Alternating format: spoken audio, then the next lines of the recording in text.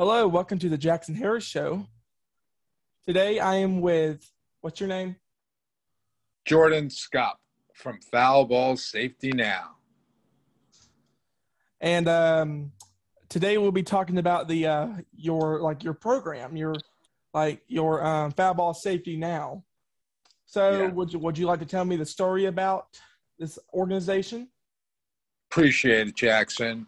So, about two years ago at this time, after the little girl got hurt in Houston, there was a big incident that happened uh, in in the spring of 2019 where a little girl got hit with a ball that was probably traveling over 100 miles per hour and she had serious injuries and i knew at that time that i needed to do something about it as a baseball fan, I, I already knew that these incidences occurred. Never really gave it much thought on a personal level about being hurt. But when I realized that children were in situations where they really had no business to be, um, I felt like it was time to address this.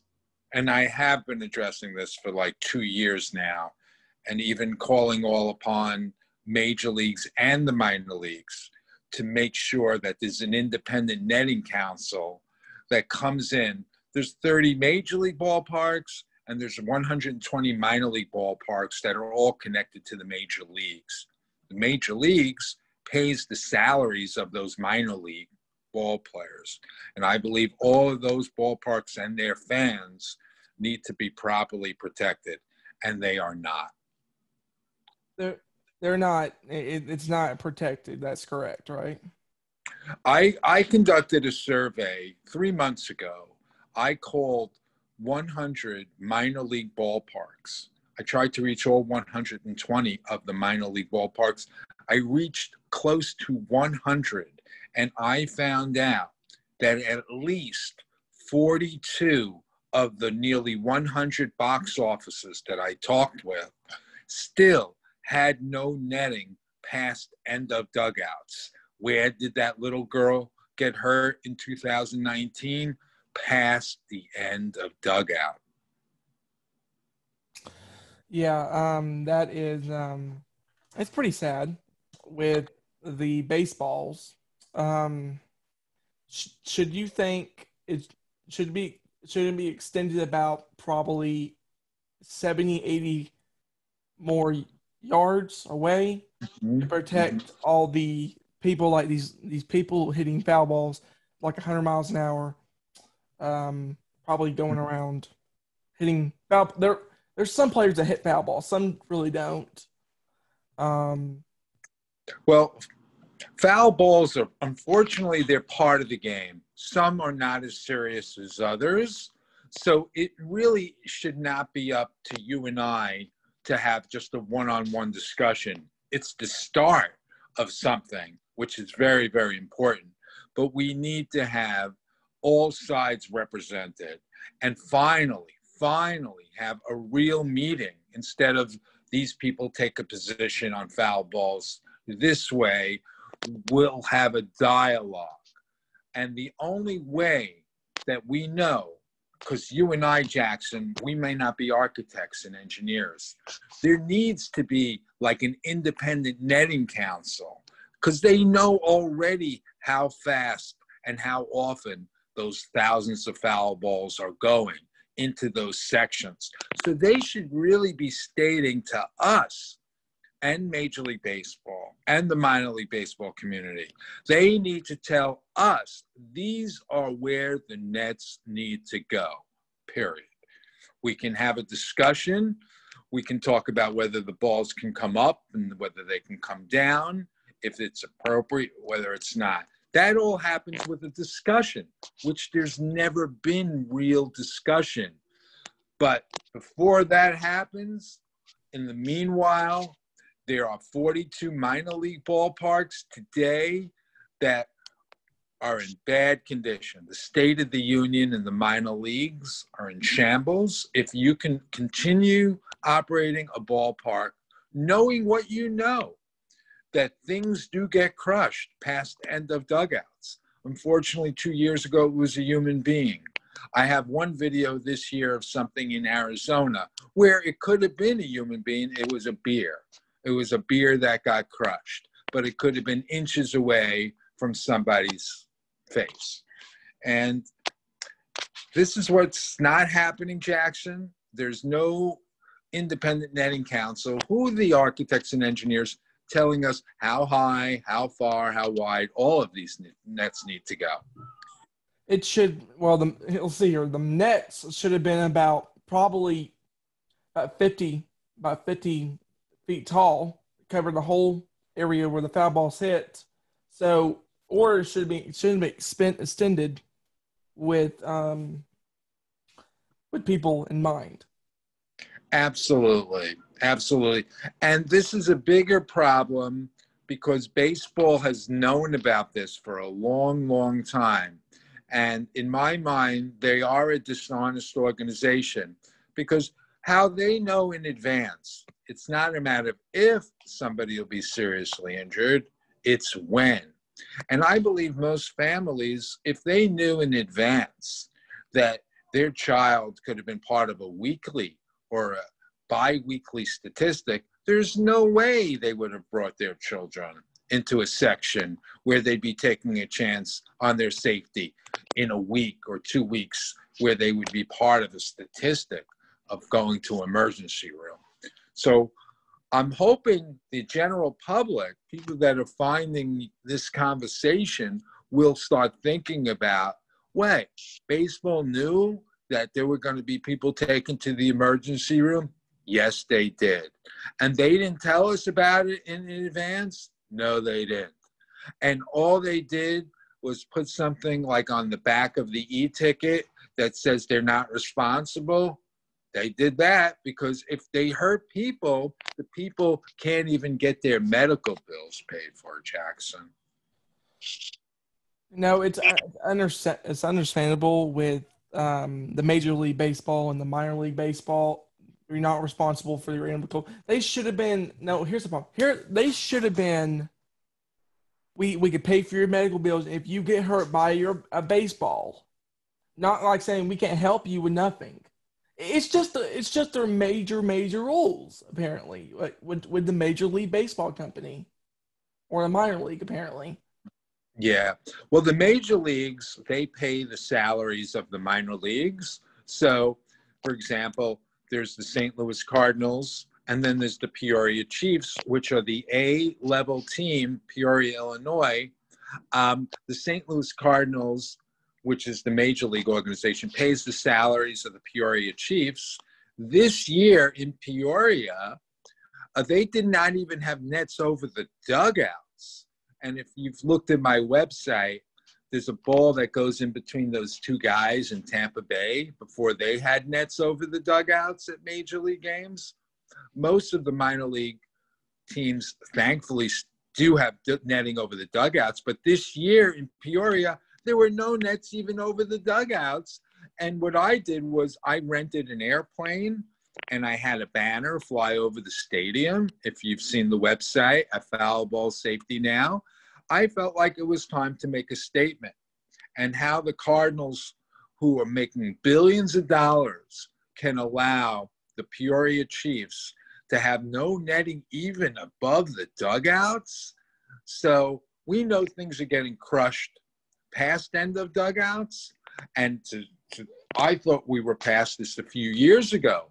And I found out different that they were they told me they were waiting for their nets they were on order from europe and i was like this is unbelievable so baseball knows about all of this they're fearful that the general public is going to learn that baseball has been concealing all this hidden and and data about injuries and how regularly these injuries happen that's when families are going to get upset because they'll know they got away without their children getting hurt. But when they figure out that they're growing families were going to games year after year after year after year, and baseball knew they could have been part of a statistic, a bad statistic, I think the families are going to get mad, and they should. they should start now. Here's the thing. So, I know the baseball is very important to everybody. They like mm-hmm. everyone like the playoffs and all that stuff. Mm-hmm. And you're right. We should get extended netting to go mm-hmm. out on these baseball fields. Mm-hmm. And um, but what you do, you can't get if you can't get not get in contact. What are you supposed to do with the Major League Baseball? What are you supposed to do? You can't do anything. Well, what what I'm trying to do at Foul Ball Safety now, I have two petitions. One petition is to end the baseball rule, which is documented is over 100 years old. It was created in 1913. So baseball knows as a business that they can continue hurting people and they're not going to be held responsible for it. And that's one petition people can sign to repeal the baseball rule. And the other petition is to demand nets. We believe both of them will sort of work hand in hand because if the baseball rule is repealed, then all of a sudden you'll see nets popping up all over the place because baseball doesn't want to hurt anyone else because they'll be sued going forward. But all these people that I've been interviewing for my book in the past, they're very bitter. They're hurt. They had their they never had their bills paid for. They never got an apology. They stopped watching baseball. They don't even put on the game on TV. And they're very grateful. They're very happy that their children are not even playing baseball. So they're passing down their disgust to their children, their fears to their children. So this should be addressed. And these fans, how many are there that have lost eyes and have had a crushed head? Too many, and they should all get an apology. They should all have their bills paid for. They should all be welcomed back. But baseball won't do that because if they do that, then they're admitting some sort of guilt and they they're saying that you would be the last person this happens to and it won't happen again. So the families may not accept that. They may they, they will only accept uh, baseball's gestures if they really mean it. Man um that's horrible. Actually that's it's horrible. Yeah it's you know and and people people know this. It's not just the industry of baseball executives it's the believe it or not, it's the baseball writers because they only write about the game. They may tell their own families to sit behind nets, but they're not really telling the readers. Same thing with the broadcasters. When you hear these guys talking on TV, when did you ever hear one of them say, Oh, if that fan gets hit, their medical bills are not even paid for? The networks don't want you having an honest discussion about it. So that's unfortunate. And then the players themselves, because in the minor leagues, they're all trying to be major leaguers and they're young guys. They tell their own families to sit behind the nets, but they can't really make a big protest because they're they want to be major leaguers. They don't want to upset their chance of being major leaguers. And then when you they be, do become major league players and make millions of dollars, what are they doing for the minor leaguers who were in the same position they were a few years ago by saying, you know what, we need to take the burden off these younger players and also protect the fans. The burden on the younger players are they know maybe it won't be them, but somebody in their community is going to hurt someone. So I believe there's a collective responsibility. So I believe there's mud on everyone's faces mud on everyone's faces. And for some reasons, at the end of the day, it's the executives who work for the owners that, for some reason, have been very slow in addressing this netting issue. At the same time, go back to the 1970s. 1970, Alan Fish was a 14 year old young man and he got killed at the Dodger game. And when what did they do after that? Did they have an honest discussion with their season ticket holders and say, "Hey guys, we need to tell you something. this could happen again, but they didn't. Yeah, um, I do support your organization. Thank you. Because um, we do need more netting in the fields, like the Major League Baseballs and the minor league baseballs, and also if the if the major league company, you know, the major league and the, the and the you know the minor league wouldn't do any something, what do you do when you do that? But do you call the governor or you call the president? Just to pass a bill to make the rule go away. I'm working on it. I'm working on it. If you look at my website, I reached out to the governors of Illinois and Florida and Arizona at foulballsafetynow.com. Everything that I've written has been there, letters, outreaching. Um, absolutely. We need uh, an act of Congress and they need to abolish this baseball rule. And I believe that can happen. And, and we have to try to make that happen. There's no doubt about it. Uh, it's a very good point. Should it be a um? So if we had to like storm up to, you know, this, this is just a um example here. If we had to storm up to the Major League Baseball and protest protest saying, "Please remove the baseball rule. We we cover your we don't cover your insurance bull crap. With we cover your medical bills. Thank you very much." I think both of them will go kind of hand in hand. So, baseball has like that little micro print that says if you get hurt, we're not responsible. Imagine if they put that micro print up on the scoreboard. All of a sudden, families would be seeing that little tiny micro print enlarged. And they'd probably be asking questions because nobody really pays much attention to the little, little tiny print.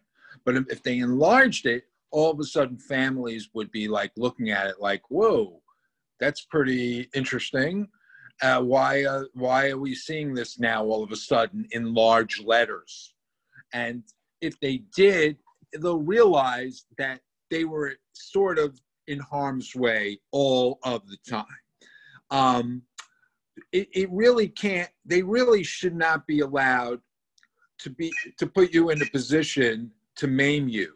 Unfortunately, that's been the that's been the uh, status quo of baseball going back to, to the to the past and to the present, where you've gone to the game and you were unfortunately in a position, a vulnerable position, which you did not really think about that you were. You didn't think your children were vulnerable. You you were there to have a good time, everybody relaxed. You didn't think a brick was coming down every hour or two and coming close to hitting one of us. Same thing with the landlord who owns a building.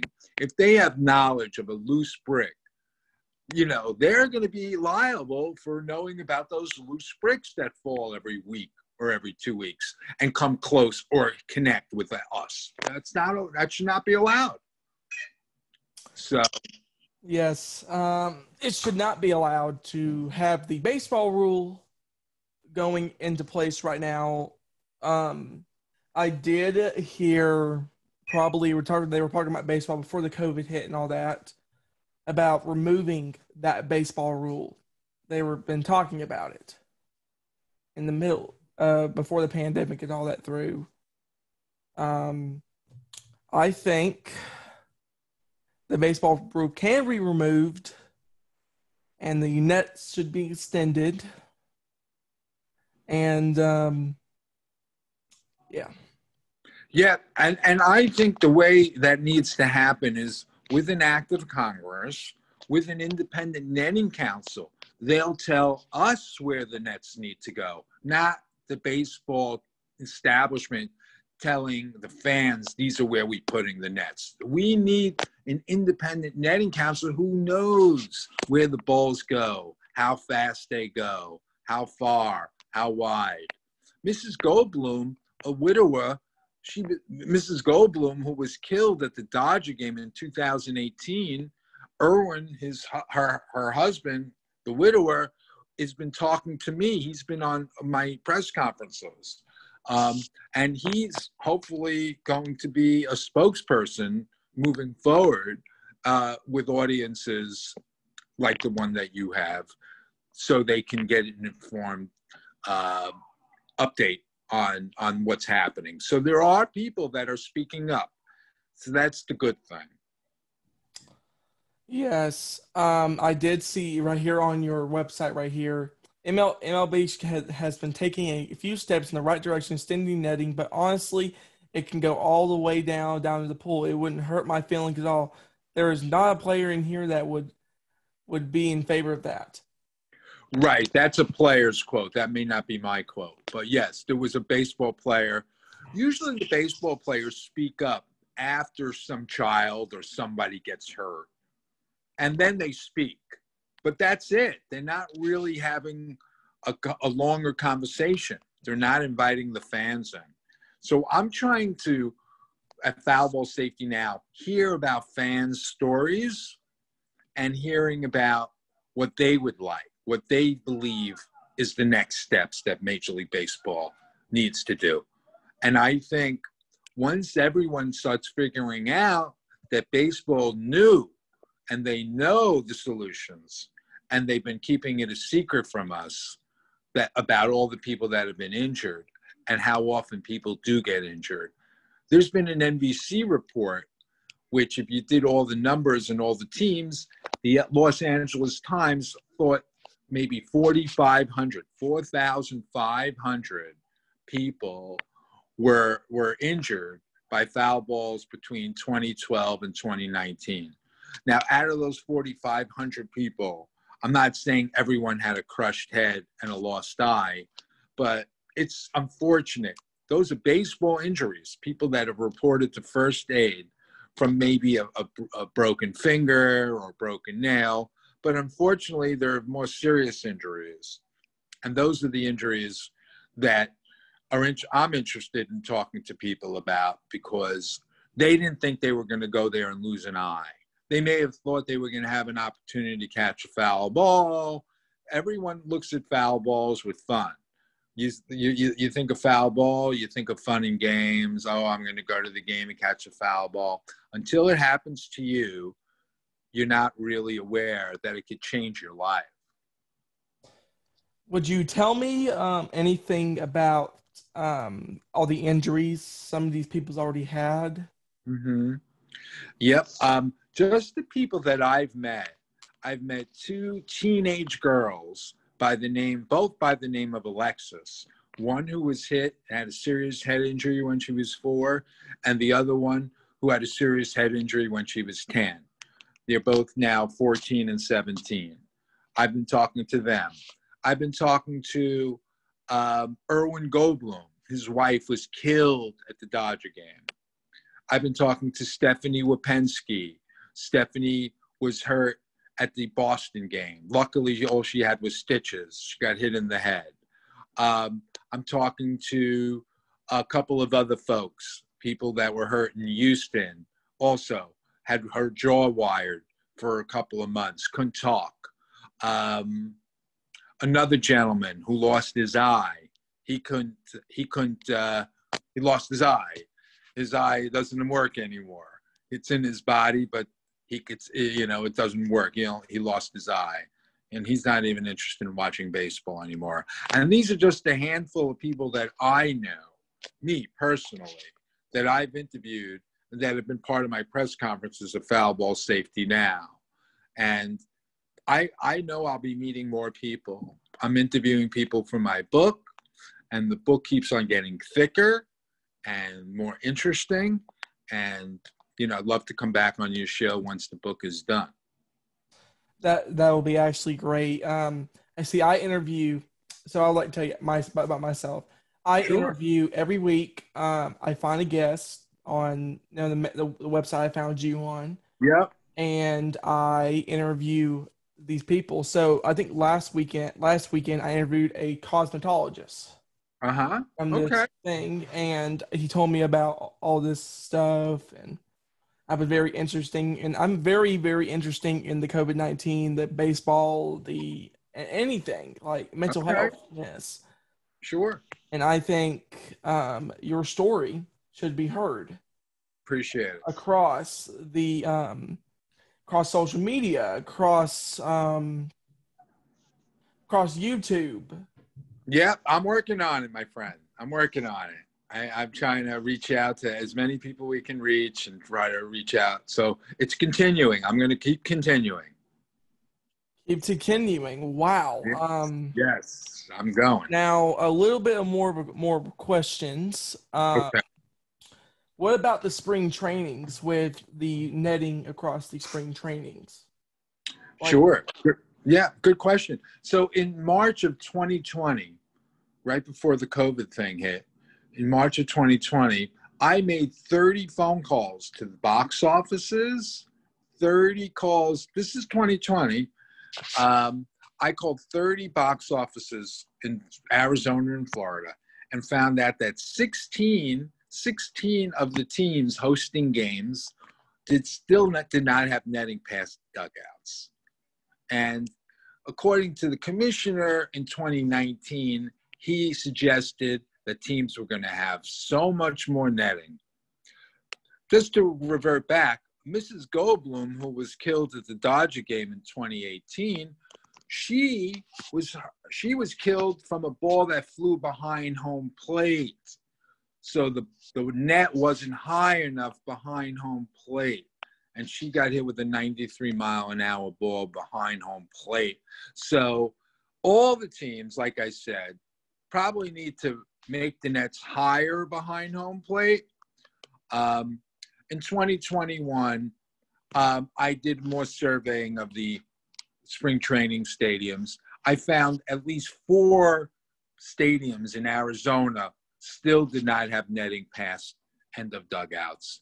There's a video in Arizona. If you Google beer can foul ball, Arizona, you'll see this was in 2021 you'll see a ball that was rocketed off the bat that landed past the end of the dugout and crushed a beer now that could have been a person because it, it came at him like that and you'll see you'll see the video it shows that the nets need work and we need an outside agency to come in and share where the nets need to go.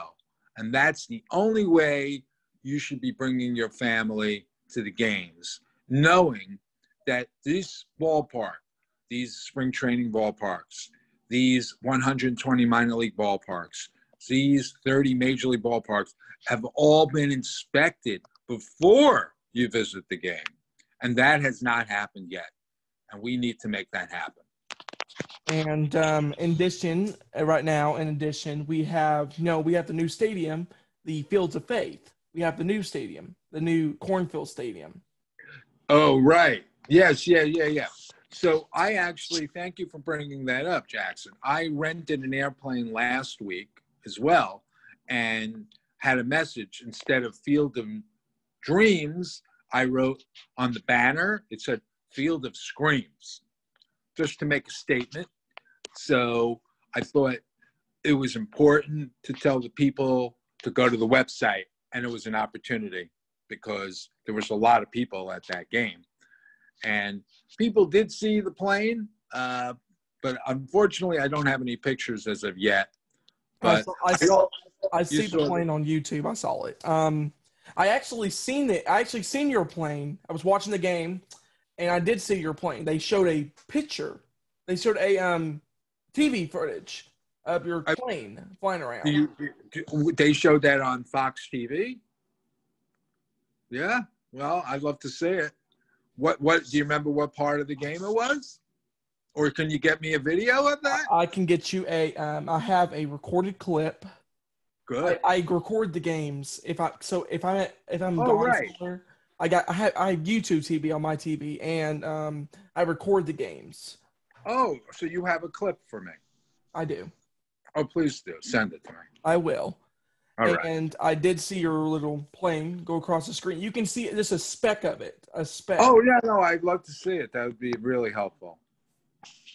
And um, here's the problem. So the Fox, no Fox people and the baseball team, they don't give a crap about fan safety. They Right. don't. Right. And um, yeah, Well, if they did, they would have been talking about it and would have taken a position on it a long time ago. Thank you. Sorry about that. sorry about that. Um, oh, that oh, edit that out. Um, so continue. Sorry. Yeah. So, yeah, baseball knew about this a long, long time ago. The broadcasters, Fox, all the TV networks, they know about this. Their own family members know about this, but they're not having an honest discussion with their viewers because their bosses don't want them to. It'll make everyone nervous. But this should have happened long, long ago. It'll it would make the TV audience nervous. So if the TV announcers were talking about how often people are sent to the emergency room, that would not make for good TV. Unfortunately, they would be scaring the viewers away, and they don't want that. They don't want to do that. They all work together. The baseball executives, the TV, the guys who write for the local newspapers. So yeah, it's a it's an ongoing discussion, and that's what we're doing here. We're trying to address it. Well, that is, is that all you want to talk about today? I I think we did a really good job, um, and I really appreciate this opportunity, Jackson.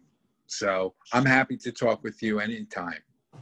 All right, thank you, thank you all for listening and watching, and I'll see y'all in the next one. Bye, guys.